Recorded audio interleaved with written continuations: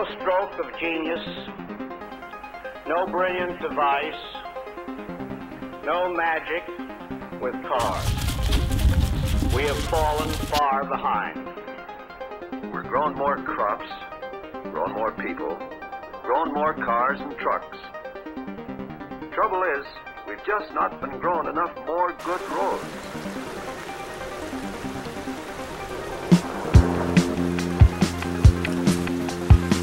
It'll be dark by the time you get the...